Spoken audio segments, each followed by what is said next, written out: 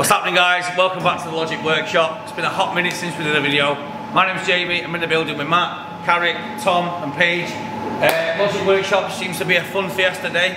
Um, we've got Patrick's car on the ramp today. He's having a full health check, check over, dyno run, uh, deep scan, boost leak test, all that good stuff. He's having some extra parts as well. He's having the ITG crossover.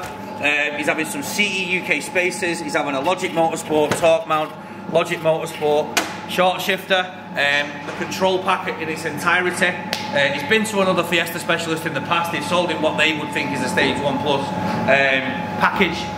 There's bits missing off the package in terms of our standards, so we're just going to correct all that work and uh, move the car forward. Uh, we've got turbo replacement for the uh, Logic Nudes Fiesta. Um, it's an exciting day for Logic, so yeah, let's get into some cinematics and then we'll come back to you at the end of the video with some lovely information. Take it easy guys, don't forget, follow the pages and all that good stuff, and stay tuned.